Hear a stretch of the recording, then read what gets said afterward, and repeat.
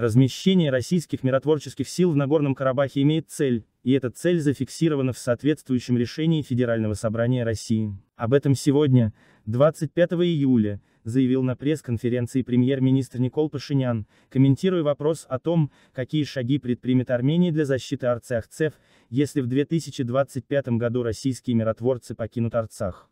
В этом решении указано, что Федеральное собрание России разрешает президенту России направить в Нагорный Карабах миротворческий контингент для предотвращения там массовой гибели населения Нагорного Карабаха. Эта формулировка взята из обращения президента России Федеральному собранию по этому поводу. То есть президент России сам обратился к Федеральному собранию с призывом ввести в Нагорный Карабах миротворческие силы для предотвращения массового уничтожения населения. Если Россия решит выйти, вне зависимости от тонкостей, это как минимум означает, что в Нагорном Карабахе нет угрозы массового убийства населения, потому что если в Нагорном Карабахе подобная угроза есть, сложно представить, как может быть принято подобное решение.